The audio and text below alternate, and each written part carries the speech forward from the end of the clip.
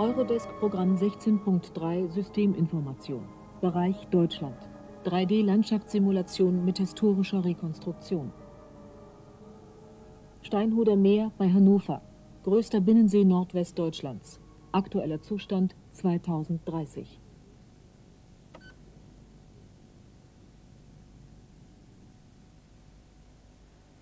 Rekonstruktionszustand 1994.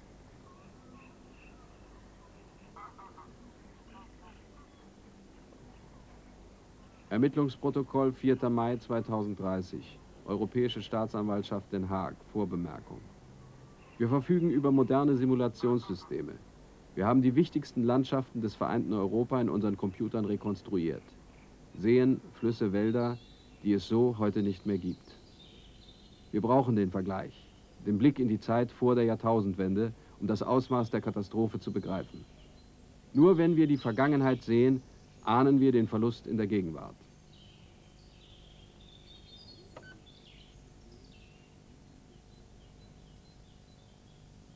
Aktueller Zustand 2030.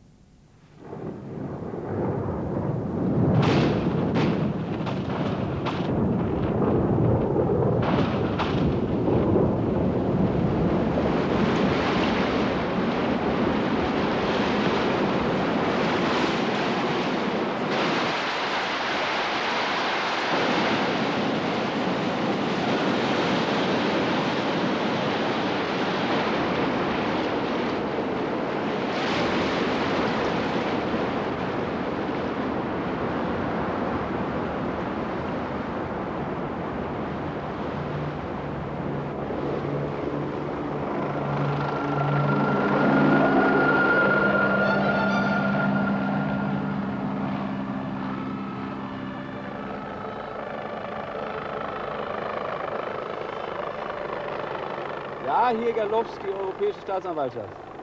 Sagen Sie Ihrem Kollegen, ich empfehle Herberichs Kommentar zu Artikel 26 der Europäischen Verfassung. Verbrechen gegen die Zukunft. Wir beabsichtigen, diesen Artikel mit Leben zu erfüllen und Anklage zu erheben. Ermittlungsprotokoll 5. Ja. Mai 2030.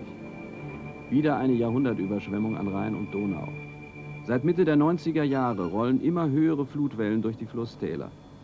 Die Klimaveränderung seit der Jahrtausendwende hat Unwetter von beinahe tropischen Ausmaßen gebracht. Vor Ort Eindrücke, Datensammlung, für meine Aufgabe notwendige Basis.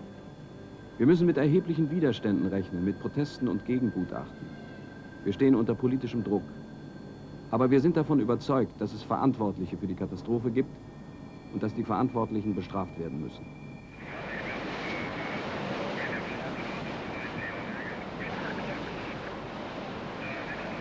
Das ist jetzt die vierte Jahrhundertüberschwemmung an der Donau in zwei Jahren. Wissen Sie, wie das ist für uns Ladenbesitzer, jedes Mal wieder von vorne anfangen? Und von was denn? Die Versicherungen, die zahlen ja nichts bei Naturkatastrophen. Und so nennen sie es ja immer noch. Ja, die Zentralregierung von Brüssel, die schickt Hilfegelder in den Süden, in die Dürregebiete. Keinen EQ für uns, als ob das da nichts war. Wir können immer wieder von vorne anfangen. Im Winter und im Frühling, da steht alles unter Wasser. Und im Sommer, da verdurrt uns das Getreide auf die Felder.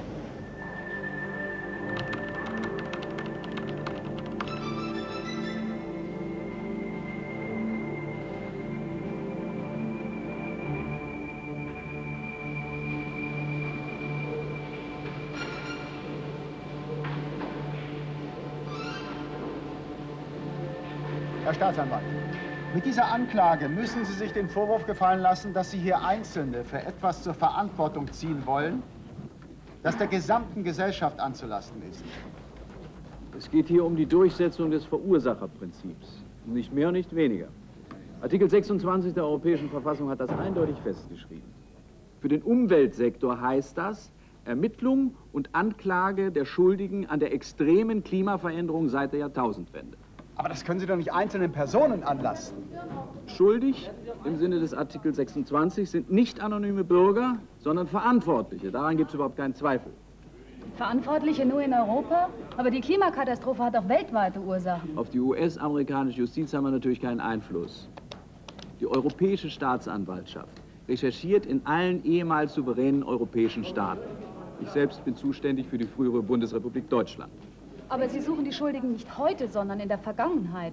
Der Zeitraum für die Ermittlungen wurde mit der Europäischen Klimaagentur abgestimmt. Es handelt sich um die Jahre 1985 bis 1995. In dieser Zeit waren alle Fakten bekannt, um die Katastrophe vorherzusehen und zu verhindern. Aber das Kartell der verantwortlichen Politiker und Wirtschaftsunternehmen beschränkte sich auf kosmetische Operationen. Herr Staatsanwalt, wann legen Sie endlich Namen? Sie wissen Ermittlungsprotokoll Anmerkung.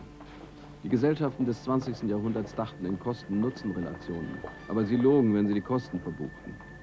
Ihre Industrie hinterließ Jahr für Jahr Umweltschäden in Milliardenhöhe, aber diese Zahlen wurden in den Bilanzen verschwiegen. Indiziensuche in der virtuellen Realität der Computer und in der Vergangenheit. Wir brauchen Beweisstücke, gerichtsverwertbare Fakten, Belege für den Stand der Ursachenforschung vor 40 Jahren. Unsere Mitarbeiter sind in der Lage, diese Fakten ausfindig zu machen. Beweisstück 16.1, Ordner 25. Eine Simulation des Deutschen Klimarechenzentrums und des Max-Planck-Instituts. Bei den Rechnungen wurden zwei Szenarien untersucht. Im ersten Szenarium bleibt alles beim Alten. Der Mensch bläst ungebremst Abgase in die Atmosphäre. Szenarium 2. Durch drakonische politische Maßnahmen könnten die Emissionen bis zum Jahre 2025 auf dem heutigen Stand eingefroren, später sogar halbiert werden. Und das sind die Ergebnisse der Hamburger Simulation.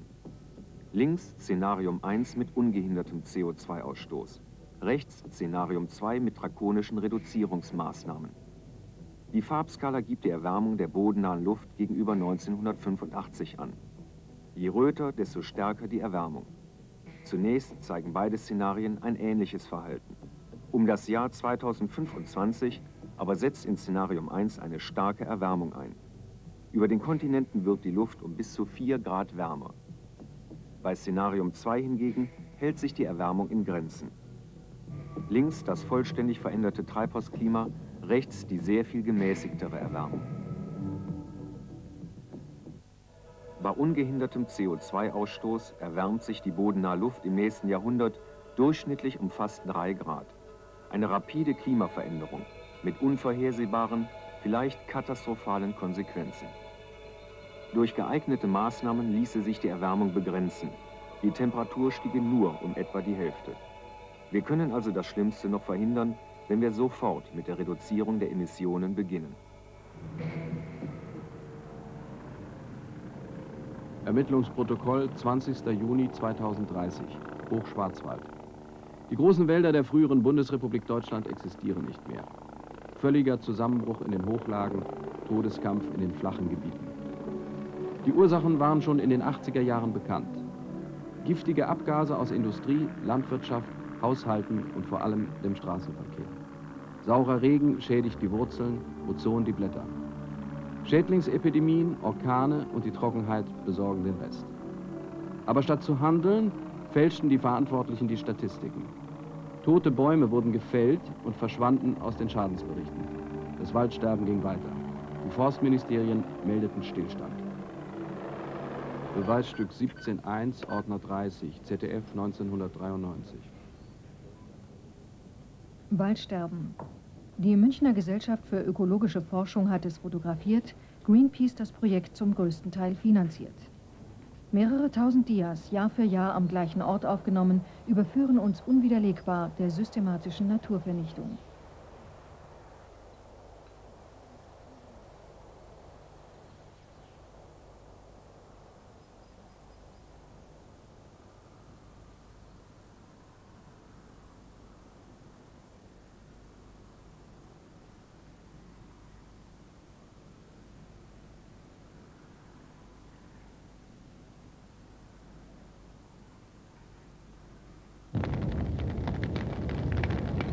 Ermittlungsprotokoll 6. August 2030. Teutoburger Wald, Hermannsdenkmal.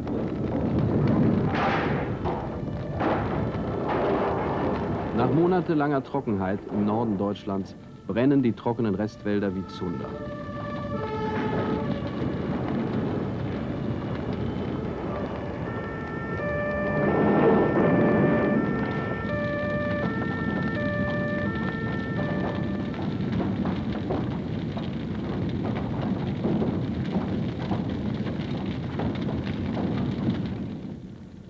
Ermittlungsprotokoll 12. August 2030. Region Freudenstadt. Der Revierförster ist seit über 30 Jahren im Dienst. Er hat miterlebt, wie die schwerkranken Bäume in Stürmen und Trockenheit zusammenbrachen. Schon vor der Jahrtausendwende waren in den Hochlagen nahezu alle über 60-jährigen Bäume krank. Aber die Verantwortlichen warteten, dass sich die Natur selbst hilft. Beweisstück 18.1, Ordner 26. Eine Computersimulation des Potsdam Instituts für Klimafolgenforschung. Das Ergebnis der Berechnung. Ökosysteme können über Jahre Klimaveränderungen überleben. Wenn das System an seine Grenze stößt, folgt in kurzer Zeit der völlige Zusammenbruch. Die Simulation geht von einer vereinfachten Erde aus, die vollständig mit verschiedenen Arten heller und dunkler Pflanzen bewachsen ist. Die hellen Pflanzen reflektieren Licht und Wärme, die dunklen nehmen sie auf. Zu Beginn der Simulation schwankt die Temperatur um 20 Grad. Wird es nun wärmer, wie beim Treibhauseffekt, dann hat das Folgen für die Artenvielfalt. Dunkle Pflanzen sterben, dafür wachsen helle Arten nach, die den Treibhauseffekt zunächst kompensieren. Die Pflanzenvielfalt des Modellplaneten wird immer geringer, aber die Temperatur in Bodennähe bleibt beinahe gleich. Geht der Treibhauseffekt weiter, dann hat die überlebende Vegetation keine Anpassungsmöglichkeit mehr. Fast schlagartig sterben jetzt auch die hellen Pflanzen. Die Temperatur steigt sprunghaft, der Modellplanet wird zur Wüste.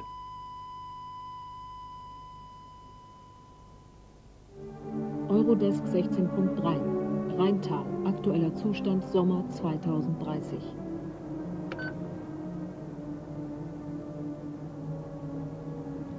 Rekonstruktion Zustand 1994.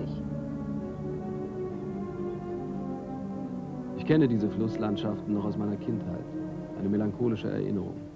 Die Kinder von heute wachsen mit anderen Bildern auf. Zerstörung als Normalzustand. Die Fakten. Die Klimaveränderung hat Mitteleuropa Temperaturen wie früher im Süden gebracht.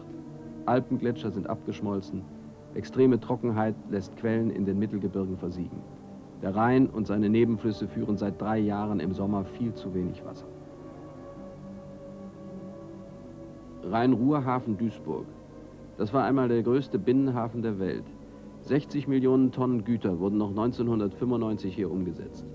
Jetzt ist die Schifffahrt praktisch am Ende. Mit den Verlusten an Landschaft haben sich die europäischen Gesellschaften arrangiert. Aber die Folgen der ökologischen Katastrophe tun weh, denn es sind wirtschaftliche Folgen. In der Krise zählt auch heute nur die Ökonomie und deshalb wird unsere Klage bei Gericht durchkommen.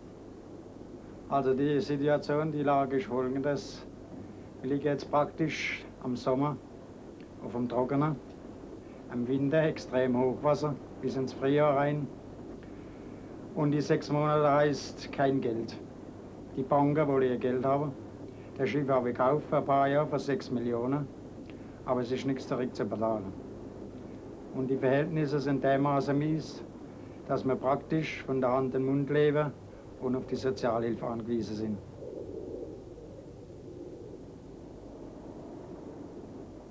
Die Klimakatastrophe kostet die Union heute unvorstellbare Summen. Schon 1994 schätzte das Fraunhofer Institut allein die von Westdeutschland verursachten Umweltschäden auf 430 Milliarden Mark, Jahr für Jahr. Und die Politiker gingen zur Tagesordnung über, obwohl die Zeichen für den drohenden Crash immer deutlicher wurden. Beweisstück 28.1, Ordner 17. ARD August 1989. Ganz Südfrankreich leidet seit Monaten unter Wassermangel und die brütende Hitze führt zu großen Schäden in der Landwirtschaft. In einigen Gebieten ist der Verbrauch von Wasser so eingeschränkt, dass es nur noch als Trinkwasser für Menschen und Tiere benutzt werden darf. Das Sprengen von Feldern musste schon vor einiger Zeit eingestellt werden. Die Ursache für den Wassermangel liegt nicht nur in dem fehlenden Regen, sondern auch in einem langen, trockenen Winter. Flüsse und Staubecken sind leer, weil es kein Schmelzwasser gibt, denn auf den Bergen lag kein Schnee. Große Teile der Ernte sind verdorrt. Die wirtschaftlichen Schäden betragen Hunderte von Millionen.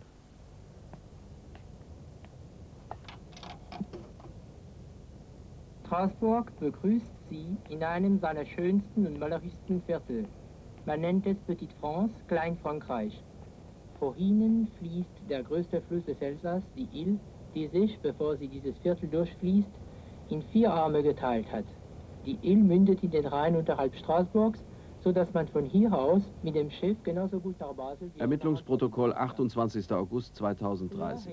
Straßburg, Parlamentsstadt der Europäischen Union. Sitz der Industrielobby, die unsere Recherche mit allen verfügbaren Mitteln bekämpft. Natürlich hätte die Automobilindustrie schon vor 1995 Autos mit minimalem Benzinverbrauch produzieren können. Natürlich hätten die Energiekonzerne Millionenmittel in die Solarforschung stecken. Natürlich hätte die chemische Industrie rechtzeitig Ersatzstoffe für FCKW und Treibhausgase produzieren können. Aber sie und ihre Freunde in den Regierungen bürdeten die Kosten ihrer Politik lieber künftigen Generationen auf. Uns. Meine Damen und Herren, im Namen des Interessenverbandes der Industrie und der betroffenen Politiker begrüße ich Sie zu unserer Pressekonferenz. Wir stellen fest, die Unternehmen und die Familien der Politiker, die durch die Ermittlungen der Europäischen Staatsanwaltschaft ins Zwielicht geraten sind, verwahren sich auf Schärfste gegen Verdächtigungen und Schuldzuweisungen. Die meisten Politiker, die im vergangenen Jahrhundert für grundsätzliche Entscheidungen verantwortlich waren, sind tot oder im Greisenalter. Ihre Familien anzugreifen, ihr Vermögen zu beschlagnahmen, das grenzt an Sippenhaft und ist deshalb verfassungswidrig. Die betroffenen Großunternehmen bzw. ihre Rechtsnachfolger werden auf Schadensersatz wegen Rufschädigung klagen. Die Umsatzrückgänge durch ständige Gerüchte über die Liste der möglichen Angeklagten gehen schon jetzt in die Millionen. Ermittlungsprotokoll 1. September 2030. Die Beweislast ist erdrückend und sie straft die Politiker und Wirtschaftsführer des vergangenen Jahrhunderts Lügen. Stichwort CO2. Wir haben in unseren Datenbanken Zahlen, die schon in den 90er Jahren allgemein zugänglich waren. Sie belegen, in welchem Umfang die damalige Bundesrepublik Deutschland an der Zerstörung des Weltklimas beteiligt war. Beweisstück 4.2, Ordner 31, Umwelt- und Prognoseinstitut Heidelberg.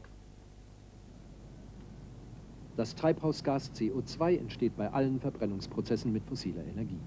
Es lässt sich nicht herausfiltern, nur reduzieren. Rechnet man die CO2-Emissionen pro Einwohner, dann steht Deutschland 1993 nach den USA und Kanada an dritter Stelle der Treibhausverursacher weltweit. 1993 wurden in der Bundesrepublik Deutschland aus Fabriken, Kraftwerken, Heizungsanlagen und Automotoren 980 Millionen Tonnen CO2 in die Atmosphäre geblasen. Das ist über ein Drittel der Menge, die zur gleichen Zeit in ganz Südamerika abgegeben wurde, die Waldvernichtung eingerechnet. Und mehr als die Hälfte der CO2-Emissionen aller Staaten Afrikas. Statt regenerative Energien zu fördern und den Verbrauch von fossilen Energien mit hohen Steuern zu belegen, wurden Milliardenbeträge in die überteuerte Sackgasse Kernenergie investiert. Unrentabel. Denn ein Atomkraftwerk kostet 5 bis 6 Milliarden Mark, die Entsorgungskosten nicht mitgerechnet. Um den Energiebedarf der Welt mit Kernkraft zu decken, hätten 20.000 neue Atomkraftwerke gebaut werden müssen. Unbezahlbar, lebensgefährlich, unrealistisch. Eurodesk 16.3 Informationsmodus. Region Lüchow-Dannenberg, Europäische Union. 1995 fruchtbare Ackerlandschaft, Kornanbaugebiet. Beginn der Versteppung 2015 nach dramatischem Rückgang der Grundwasserreserven. Wasserrationierung und Bewässerungsverbote in der gesamten Landwirtschaft.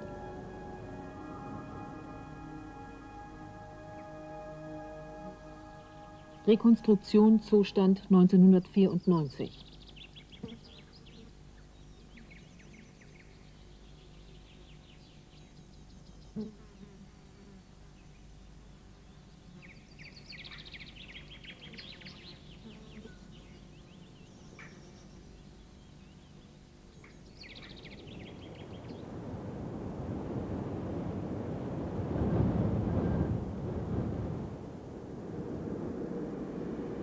Ermittlungsprotokoll 28. September 2030.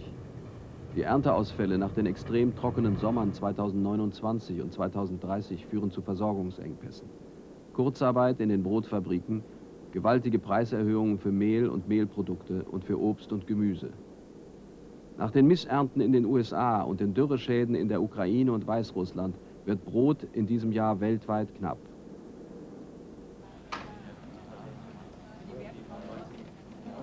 Konferenz in Rio de Janeiro 1992. Ein wichtiges Dokument für die Absicherung der Anklage.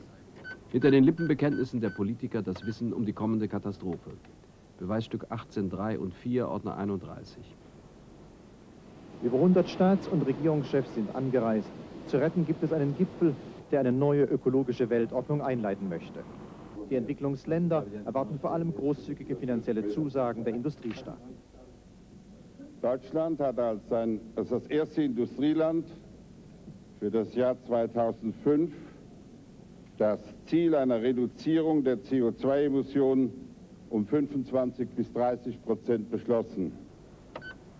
Grün eingebunden wie die ungetrübte Natur, der Jahresbericht 92 des Umweltbundesamtes.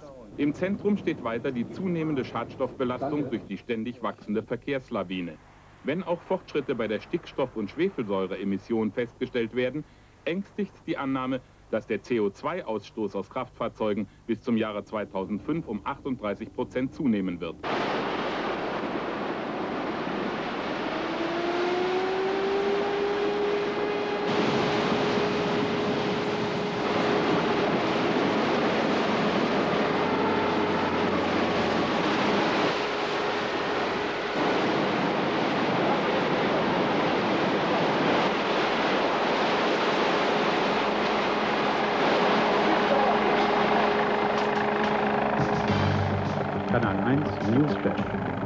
Tote und 300 Verletzte am dritten Tag der Unwetterkatastrophe in Oberbayern.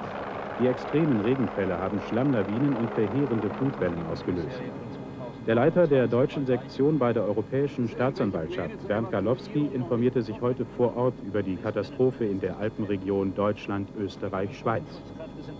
Einheiten der Unionsarmee sichern Garmisch und Mittenwald, nachdem offenbar organisierte Banden Läden und Wohnungen im Katastrophengebiet geplündert hatten. Politiker in Straßburg forderten heute die dauerhafte Sperrung von insgesamt 16 besonders gefährdeten Alpentälern. Die Bevölkerung müsse notfalls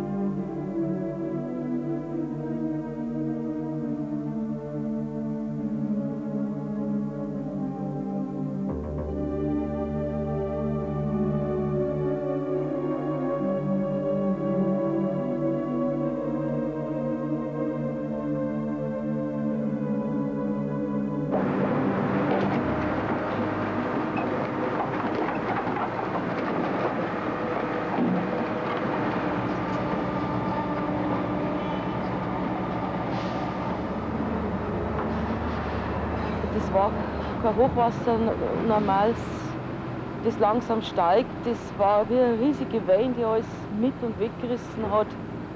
Ich war noch im Keller und habe probiert, ob ich nicht noch die wichtigsten Sachen aus dem Lager retten kann. Und da ist schon reingeschossen, das Wasser. Und der Dreck und der Schlamm und Storner. Ich bin gerade noch rausgekommen, aber meine Nachbarin die ist verschickt.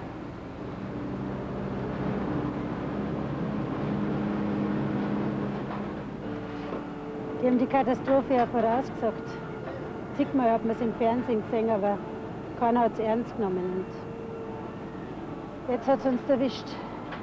Aber wir können doch hier nicht einfach weg, wir sind doch da daheim. Aber wie soll es weitergehen? Der Tourismus ist tot und hinten und vorn kein Geld für den Wiederaufbau.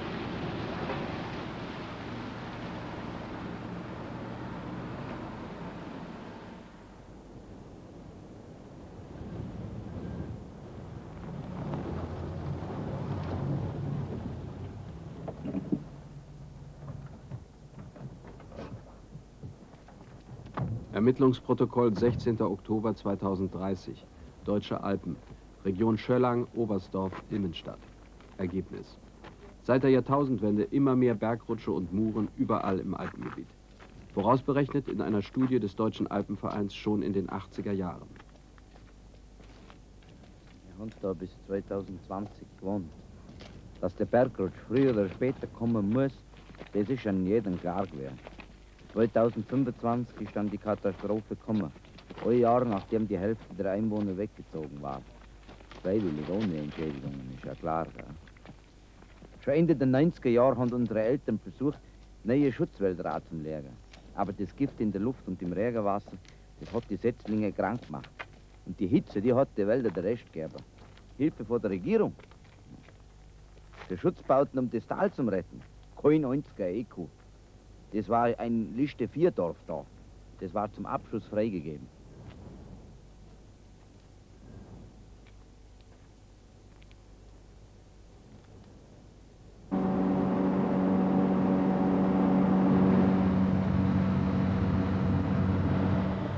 Ermittlungsprotokoll 15. Dezember 2030.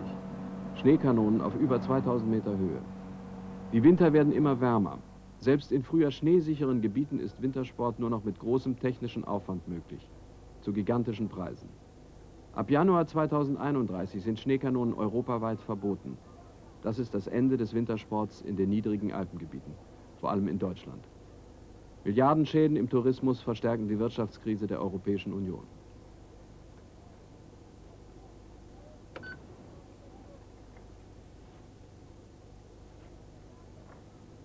Gletschergebiet Schweizer Alpen, Region Zermatt, Rekonstruktion 1994.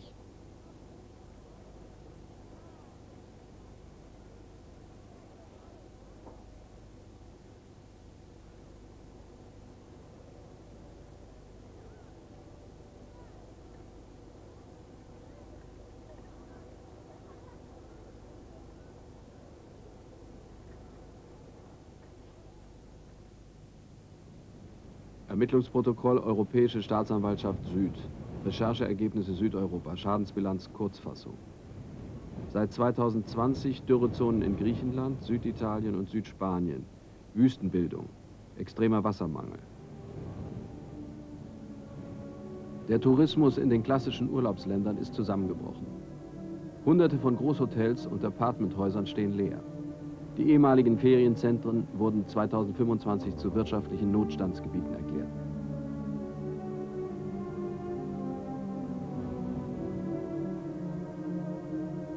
Immer wieder Diskussionen über die mögliche Nutzung durch afrikanische und asiatische Umweltflüchtlinge. Doch ohne Wasserversorgung ein aussichtsloses Unternehmen. Vereinzelte Besetzungsaktionen durch Flüchtlinge aus den Überschwemmungsgebieten von Indonesien, den Malediven, Indien und Bangladesch scheiterten deshalb schon bald, ohne dass die Behörden eingreifen mussten.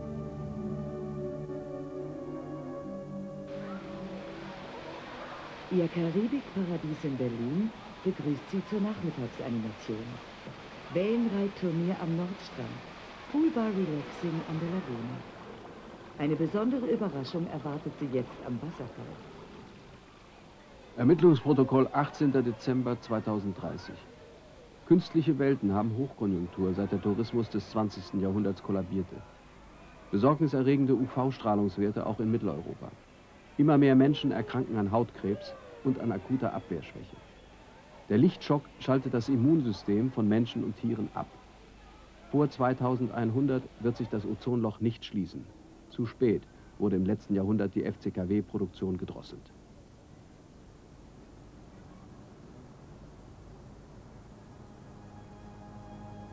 Berlin. Die Hauptstadt der ehemaligen Bundesrepublik Deutschland ist heute ein Zentrum antieuropäischer Bewegungen. Die weltweite Wirtschaftskrise verschärft die Gegensätze im vereinten Europa. Der größte Teil der Hilfsgelder aus den europäischen Regierungsfonds fließt in den Süden. Der Norden ist auf Selbsthilfe angewiesen. Die großen Unternehmen stehen vor dem Bankrott, denn die Absatzmärkte sind völlig zusammengebrochen. Gewaltige Investitionen zur Sanierung der Umwelt sind nötig. Investitionen in Billionenhöhe weltweit. Jahr für Jahr. In Europa Fabrikstilllegungen, Inflation, Massenarbeitslosigkeit in nie gekannter Höhe. Allein in Deutschland 16 Millionen. Das soziale Netz ist gerissen.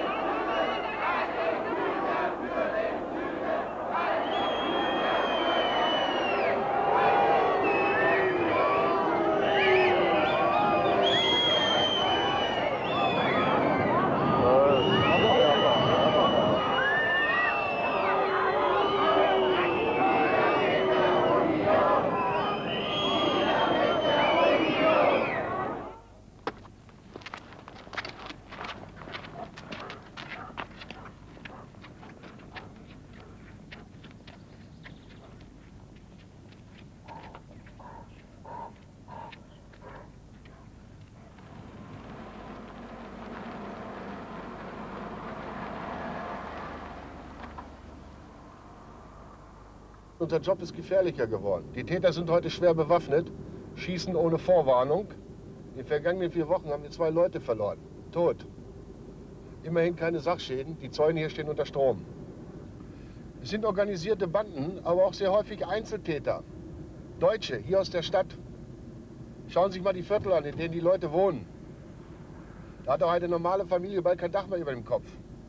Sturmschäden, ständige Orkane, die Versicherungen weigern sich zu zahlen. Die Häuser vergammeln.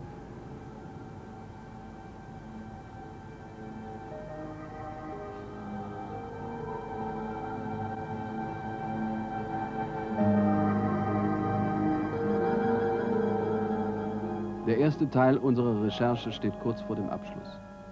Wir werden die vorläufige Anklageschrift auf einer internationalen Pressekonferenz veröffentlichen. Der Prozess betrifft ganz Europa, nicht eine seiner Teilrepubliken. Bis zum Prozessbeginn werden wir nach Mitteln und Wegen suchen, auch außereuropäische Firmen in die Schadensersatzansprüche einzubeziehen. Der Prozess mag nur symbolische Wirkung haben, aber die Verankerung des Verursacherprinzips bedeutet die Wende in der Rechtsprechung Europas.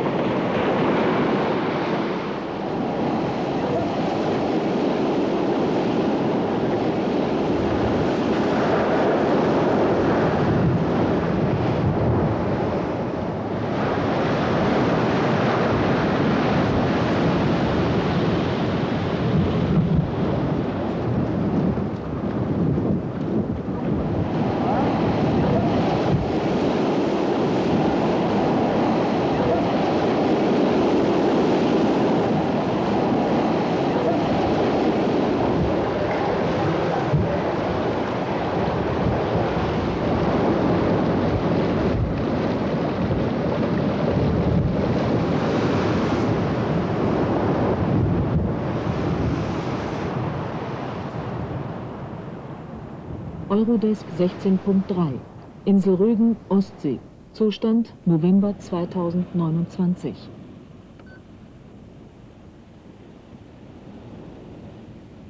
Rekonstruktion.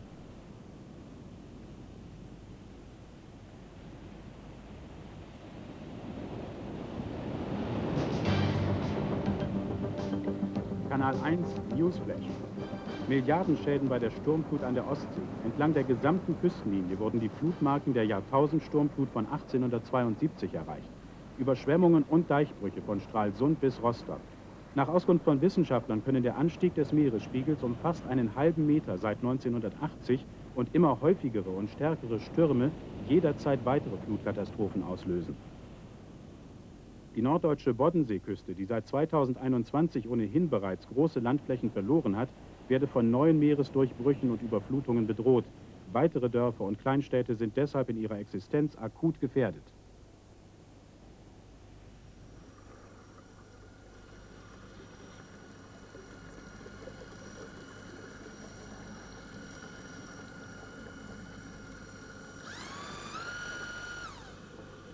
Ermittlungsprotokoll 17. Dezember 2030, Nordsee.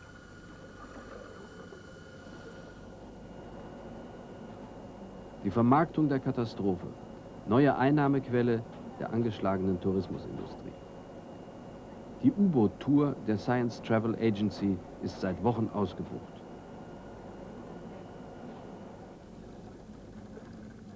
Die Fakten.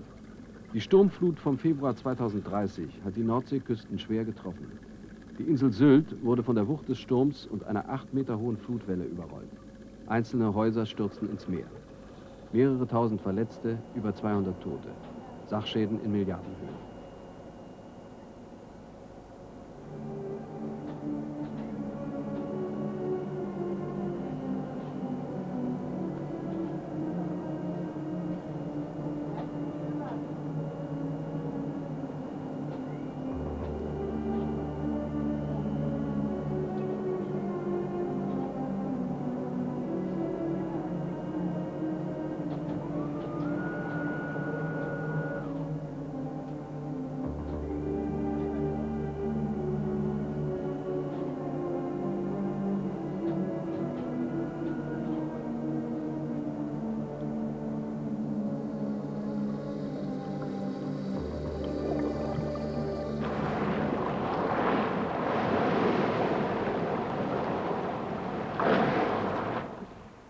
Beweisstück 38, 4 und 5, ARD 1987 und 1990. Seit 8000 vor Christi bis heute erhöhte sich der Wasserstand. In den letzten zwei Jahrzehnten schon um 50 cm pro 100 Jahre hochgerechnet. Auch das deutet für die Elbe und die schleswig-holsteinische Westküste auf künftig häufigere und höhere Sturmfluten hin. An der Küste der nordfriesischen Insel Sylt haben Orkan und Sturmflut besonders gewütet. Das Kliff bröckelte weiter ab, einige Häuser sind nur noch wenige Meter vom Absturz entfernt. Die Sandvorspülungen, die die Inselkante vor Wind und Wellen schützen sollen, wurden auf großen Flächen zerstört. An einigen Orten ist jetzt nichts mehr von ihnen übrig, schon der nächste Sturm kann verheerende Folgen haben.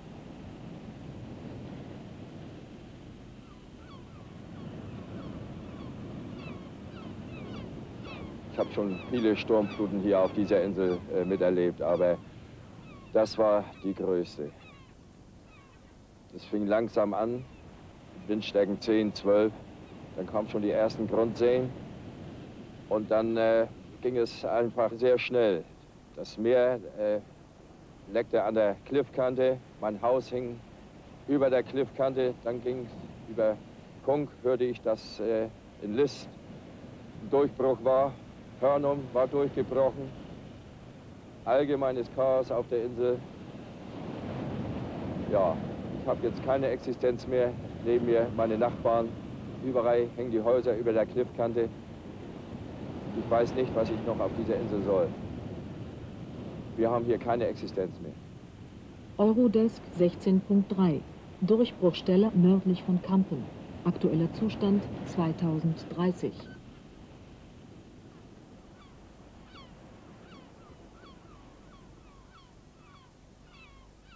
Insel Sylt, Rekonstruktion 1994.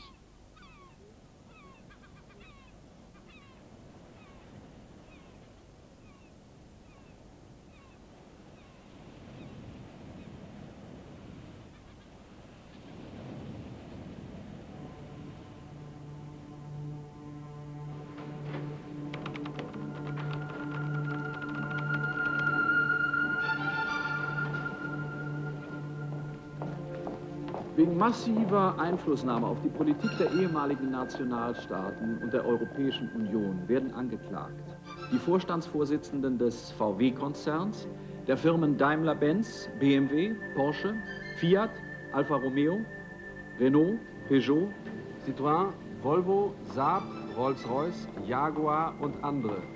Und mit ihnen ihre Unternehmen, soweit sie heute noch bestehen. Die Klage gegen Ford und Opel betrifft die US-amerikanischen Mutterfirmen, die wir ausdrücklich in die Schadensersatzansprüche mit einbeziehen. Außerdem werden angeklagt die Energiekonzerne und führenden Chemieunternehmen der früheren Nationalstaaten und ihre heutigen Rechtsnachfolger. Alle diese Firmen haben wieder besseres Wissen und aus Gründen der persönlichen Bereicherung die europäische Politik der Klimazerstörung mit verursacht. Unsere Ermittlungen gehen bis zu Prozessbeginn weiter. Im Moment ermitteln wir gegen die Verantwortlichen der Jahre 1995 bis 2005 die letzten Jahre, in denen vielleicht eine Klimawende möglich gewesen wäre. Die Liste der angeklagten Politiker ist vorläufig. Sie betrifft zunächst Verantwortliche, die besonders lange im Amt waren und deshalb wirkungsvolle Möglichkeit gehabt haben, die Zukunft zu beeinflussen. Mitterrand François, damals Staatspräsident der Republik Frankreich, Thatcher Margaret und Major John, damals Premierminister des Vereinigten Königreichs, Kohl Helmut, damals Bundeskanzler der Bundesrepublik Deutschland. Hätten Sie auf einzelne Bundesstaaten sagen?